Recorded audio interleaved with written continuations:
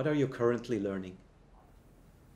Um, I would say uh, one of the most important things for me is kind of expectation management. That um, let's say not to dream that that things get simpler or easier with time, but it's what at least what we've learned thus far. It's pretty much exactly the opposite, which also excites me. Um, to an extent that uh, you never know what, what tomorrow brings, and you have to be prepared for a very various types of challenges that, that this kind of work can, can throw at you.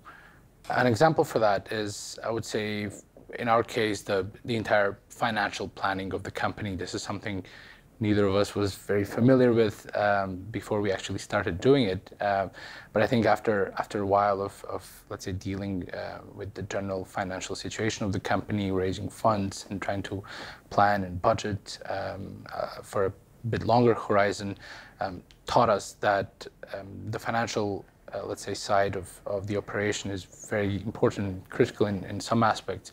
And we learn to pay more and more attention to that uh, as we go.